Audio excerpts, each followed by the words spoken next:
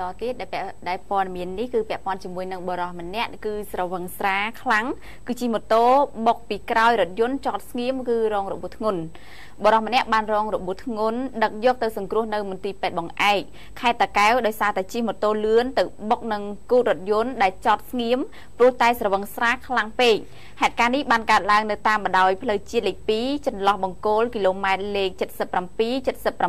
នៅក្នុងភូមិលូរី សង្កាត់រកាក្នុងចាស់ក្រុងដូនកែវខេត្តតាកែវកាលពីរសៀលថ្ងៃទី21ខែតុលាឆ្នាំ2014លោកអិនមណ្ឌលអធិការរងក្រុងដូនកែវបានឲ្យដឹងថាម៉ូតូម៉ាក Honda C125 ពណ៌ខ្មៅកណ្ដាលចាផ្លាកស្លាកលេខនេះគឺកណ្ដាល 1C7117 បើកបរដោយឈ្មោះហ៊ុនហៅឃុំលំចង់ស្រុកសំរោងខេត្តតាកែវចំណែករថយន្តដែលចតស្ងៀមនោះគឺនៅចិញ្ចើមថ្នល់គឺម៉ាកលុយស៊ីស407ពណ៌ស្ករពាក់ស្លាកលេខគឺភ្នំពេញ 2i 9936 ម្ចាស់ឈ្មោះភៀបបណ្ណាអាយុ39ឆ្នាំរស់នៅភូមិថ្នល់បាយសង្កាត់រកាក្រៅក្រុងដូនកែវខេត្តតាកែវអ្នកឃើញហេតុការណ៍បាននិយាយថាមុនពេលកាត់ហេតុគេឃើញបរិមម្នាក់គឺជិះម៉ូតូពណ៌ខ្មៅមកពីទិសខាងត្បូង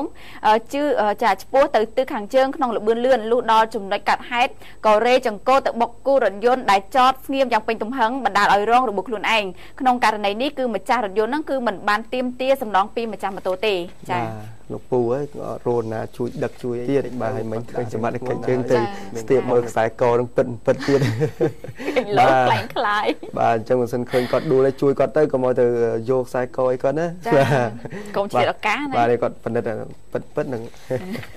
បាទបន្តទៀតចុះបាទចាបន្តមកករណីទៀតគឺអ្នកបើកបររថយន្ត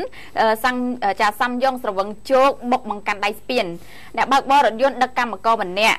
ស្រវឹងជោគជាំបានបើករថយន្តរេពេញផ្លូវទៅបុកនឹងបង្កាន់ដៃស្ពានកាលពីរសៀលថ្ងៃទី22ខែតុលាឆ្នាំ2014បណ្ដាលឲ្យបាក់បង្កាន់ដៃស្ពានពីរប្រឡោះនិងខូចខាតរថយន្តផ្នែកខាងមុខចំណែកឯមនុស្សគឺមិនមានរងរបួសទេ សាស្ត្រីដែលឃើញហេតុការណ៍នេះបានប្រាប់ឲ្យដឹងថាបរោះស្រវឹងជោគនេះគឺមានឈ្មោះថាកណ្ដាលភូមិព្រៃក្មេងស្រុកភ្នំស្រួយខេត្តកំពង់ស្ពឺមានមុខរបរហ្នឹងគឺជាអ្នកបើកបរដឹកកម្មកររោងចក្របានបើករថយន្តម៉ាកសាំយ៉ុងពណ៌សម្បកអលឹកពាក់ស្លាកលេខគឺភ្នំពេញ2អឺ1880តាមផ្លូវកងរាជអាវុធហត្ថខេត្តកំពង់ស្ពឺដោយមានសភាពរេពេញថ្នល់ក៏ប៉ុន្តែមានចាំមិនមានដឹកកម្មករទេស្រាប់តែមកដល់ចំណុចស្ពានវត្តថ្មីស្ថិតនៅក្នុងភូមិពាណិជ្ជកម្មសង្កាត់រកាធំក្រុងក្រុងច្បារមនខេត្តកំពង់ស្ពឺក៏បុកនឹងបង្កាន់ដៃស្ពានបណ្ដាលឲ្យបាក់ពីប្រឡោះខូចខាតទាំងស្រុងបន្ទាប់ពីកើតហេតុអ្នកបើកបរនិងរថយន្តត្រូវកម្លាំងនគរបាលចរាចរណ៍ជើងគោកខេត្តគឺនាំយកទៅរក្សាទុកដើម្បីកសាងសំណុំរឿងចាត់ការតាមច្បាប់រីឯចាឬតម្រូវឲ្យអ្នកបើកបរធ្វើបង្កាន់ដៃស្ពានសងវិញឲ្យដូចដើមចា៎នេះគឺករណីសវឹងមួយទៀតណាសវឹងវឹងជោគចំយើងនៅតាមដានទូទូហមេគាត់ឆ្ងល់សួរខ្ញុំលោកប្រព័ន្ធមកករណីករណីគឺមានច្រើនហើយអីគាត់ពួកគាត់អត់ខ្លាច មិនខ្លាចបើគាត់សវឹងហើយសវឹងហើយដើរលែងដឹងហើយលែងដឹងខ្លួនហើយបាទឥឡូវយើងបន្តព័ត៌មាននៅខេត្តបៃលិនវិញម្ដងគឺសមត្ថកិច្ចខេត្តបៃលិនចាប់ខ្លួនចោលស្ទើរភ្លើងម្នាក់ដែលលួចរថយន្តកាមេរីឆ្លាមួយគ្រឿងបាទចៅស្ទើរភ្លើងម្នាក់ត្រូវបានកម្លាំងនគរបាលនៃស្នងការដ្ឋាននគរបាលខេត្តបៃលិនខត់ខ្លួនកាលពីវេលាម៉ោង6:30នាទីល្ងាចថ្ងៃទី22ខែតុលាឆ្នាំ2014ពីបទលួចរថយន្តតាក់ស៊ីម៉ាកកាមេរីឆ្លាមមួយគ្រឿង គណៈដែលម្ចាស់រថយន្តដើររកភ្ញៀវដើម្បីត្រឡប់ពីបៃលិនទៅព្រំដែនវិញអូរវើដើររកភ្ញៀវគាត់ឆ្លៀតឱកាសនេះបាទលោកអ៊ំមុំហេងអាយុ52ឆ្នាំមកមកជាអ្នកកាច់ស្រុកសាលាក្រៅខេត្តបៃលិនបាននិយាយថារថយន្តរបស់គាត់គឺម៉ាកកាមេរីឆ្លាមពណ៌ស ពាក់ស្លាកលេខភ្នំពេញ 2K 20កុដ64គាត់បានដឹកភ្ញៀវពីផ្សារព្រំមកក្រុងបៃលិនរួចបានចតរថយន្តចោលដោយមិនបានដកសោនោះទេហើយក៏បានដើររកភ្ញៀវដើម្បីត្រឡប់ទៅផ្សារព្រំវិញស្រាប់តែគាត់ឃើញគេបើករថយន្តរបស់គាត់សមានថាមិត្តភ័ក្តិបើកលេងតែយូរយូរទៅមិនឃើញត្រឡប់មកវិញទើបដឹងថារថយន្តរបស់គាត់ត្រូវបានចោលហើយក៏ចោលលួចហើយក៏បានទៅប្តឹងសម្ញគាត់ទុកសោបាទលោករស្មីត្រី ខឿនសោមអឺកងអន្តរាគមនៃស្នងការនគរបាលខេត្តបៃលិនបាននិយាយដឹងថាបន្ទាប់ពីទទួលបានពាក្យបណ្ដឹងភ្លាមភ្លាមកម្លាំងនគរបាល7:30នាទីនៅឯភូមិច្រាកើតសង្កាត់ទួលលវាក្រុងបៃលិនគណៈដែលជនល្មើសបើករថយន្តយកទៅលាក់ទុកនៅឯក្នុងព្រៃ ចៅលួចរថយន្តនោះមានឈ្មោះថាខឿនសុគីមអាយុហៅកំសត់អាយុ27ឆ្នាំរស់នៅឯស្រុកមោងរិស័យខេត្តបាត់ដំបងបច្ចុប្បន្នសមាជិកកំពុងតែសាកសួរដើម្បីរកបាក់ពួរនិងកសាងសំណុំរឿងបញ្ជូនទៅតុលាការដើម្បីផ្ដន់ទោសទៅតាមច្បាប់ បាទនេះគឺគាត់លួចរថយន្តណាអឺឃើញគេកំពុងតែរវល់រកឆ្លៀចាប់តឱកាសភ្ញៀវចាប់អីអញ្ចឹងគាត់ចា៎ទៅបើករបស់គេទៅបាត់ទៅបាទឥឡូវយើងបញ្ចប់ករណីនឹងតែប៉ុណ្្នឹងចុះយើងបន្តព័ត៌មានករណីអគិភ័យមួយគឺអគិភ័យនេះគឺបានឆក់យកអាយុជីវិតមនុស្សរហូតទៅដល់3នាក់ឯណោះបានបានស្លាប់នៅក្នុងអណ្ដាតភ្លើងទៅហើយបាទ បាទ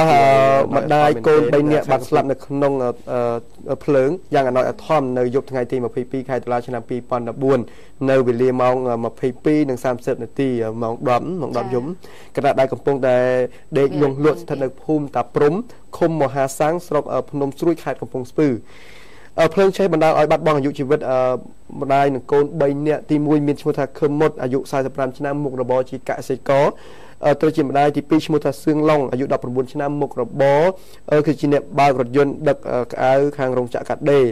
អឺទី3ហ្នឹងគឺឈ្មោះថាសឿនឡាវភេទប្រុសអឺអាយុ11ឆ្នាំជាសិស្ស អឺទាំង3នាក់ហ្នឹងបានស្លាប់នៅក្នុងហេតុការណ៍នោះទៅហើយមីងជនរងគ្រោះបានរៀបរាប់ឲ្យដឹងថាស្ត្រីពេលគាត់ដឹងខ្លួនពីដំណេកស្រាប់តែឃើញមានអគិភ័យឆាបឆេះយ៉ាងសន្ធោសន្ធៅដោយមិនអាចជួយយករបស់របរឬជួយសង្គ្រោះអាយុជីវិតអ្នកទាំង3នោះបានទេដោយហេតុថាជនរងគ្រោះទាំង3នាក់អឺបានដេកដួលស្លាប់នៅក្នុងថ្លុកឈាមយ៉ាងអណោចអធមទៅហើយ ការសន្និដ្ឋានរបស់សាកសីឃើញផ្ទាល់ភ្នែកនិងសមត្ថកិច្ចបានឲ្យដឹងថាករណីបង្កមានភ្លើងឆេះនេះគឺបណ្ដាលមកទុសេខ្សែភ្លើងទុសេខ្សែភ្លើងរថយន្តដែលកូនរងគ្រោះយកទូរស័ព្ទដៃមកបញ្ចូលថ្មទុកចោលនៅក្នុងរថយន្តអូមានករណីគាត់សាកទូរស័ព្ទនៅក្នុងរថយន្តអាចជាផ្ទុះទៀតណាបាទអាចផ្ទុះទូរស័ព្ទចា៎ទៅទៅអាចផ្ទុះរថយន្តហ្នឹងទៅក៏ឆេះតែម្ដងចា៎អ តាមការសន្និដ្ឋានជាជំហានដំបូងរបស់សមាជិកគឺបានអឺខូចខាតទឹកប្រាក់អស់ជាង20000ដុល្លារសហរដ្ឋអាមេរិកនេះគឺករណីផ្ទះ6គុណមួយទៀតហើយនៅខេត្តកំពង់ស្ពឺដូច្នេះហើយប្រជាពលរដ្ឋទាំងអស់គួរតែមានការប្រុងប្រយ័ត្នអំពីបញ្ហានេះផងដែរព្រោះថាអស់ទ្រព្យសម្បត្តិហើយស្លាប់នឹងខ្លួនបាទទៀតអស់ទ្រព្យសម្បត្តិចា៎ជាង20000ដុល្លារហើយគឺស្លាប់3នាក់ឯណោះចា៎យ៉ាងអណោចអធមទៀតហើយមិនមាននរណាជួយសង្គ្រោះបានតាន់ពេលវេលាទេព្រោះថាជួនកាលអ្នកនៅតាមតិចមកទីណាជនបទតាមស្រុកភូមិហ្នឹងគាត់ម៉ោង10ម៉ោងអីគាត់សម្រាប់ចា៎ទៅហើយចា៎ជួនកាលលួងលក់បាត់ទៅហើយមិនដូចអ្នកនៅពេញទេពេញជួនកាលម៉ោង10មិនតាន់សម្រាប់ទេចា៎បាទដូច្នេះហើយបងប្អូនទាំងអស់គួរតែមានការប្រុងប្រយ័ត្នអំពីអឺករណីដោតទូរស័ព្ទករណីអឺទុកអឺកង្ហាលចោលឬករណីដោតអីចោលហ្នឹងយើងត្រូវតែមានការដកឲ្យបានត្រឹមត្រូវនៅពេលដែលយើងចូលសម្រាប់នោះបាទយើងបញ្ចប់ព័ត៌មាននឹងតែប៉ុណ្្នឹងណាទៅតាមផ្នែកយើងនឹងបន្តព័ត៌មានច្រើនផ្សេងទៀតនៅវគ្គក្រោយបាទយើងខ្ញុំ